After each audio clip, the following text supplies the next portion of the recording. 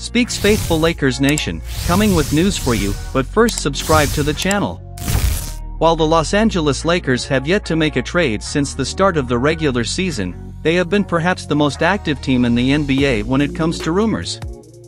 It seems that almost every player on the list except for LeBron James had their names published in a commercial scam.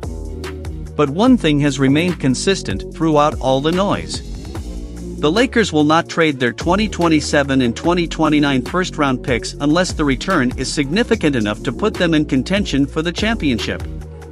And in a new wrinkle to that caveat, the Lakers are looking for deals that improve their fortunes over multiple years, not just the 2022-23 campaign, according to ESPN's Dave McMenamin. If the right deal comes along that makes them, in their eyes, a better team over the next three years, that's their priority.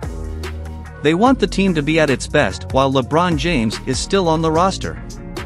But if that means not doing that deal in February and playing the rest of this season with the group they have and knowing that they think there's going to be a better deal in July in the offseason, they'll do that. Enjoy leave your like and turn on the notification bell and stay on top of the Lakers world. The Lakers are said to be just looking for deals that will improve them over the next three seasons, which almost contradicts previous reports that the team doesn't want long-term cash. Of course, there are ways to improve the team's next three years without necessarily accepting multi-year contracts. For example, the famous exchange of Buddy Hield and Myles Turner for Russell Westbrook involves only an expiring contract and a two-year deal. But the Lakers would have the rights to both players, meaning they could re-sign them to multi-year deals that would allow them to exceed the salary cap once they become free agents.